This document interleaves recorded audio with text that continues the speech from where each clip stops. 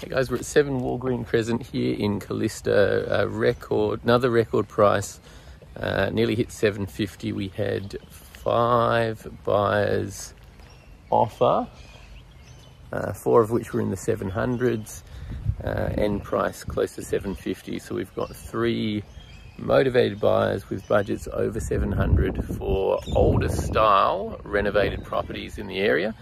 Um, bit of market commentary, that property six months ago should have seen about 10, 15, 20 buyers through each home open. We had two home opens, four buyers through each.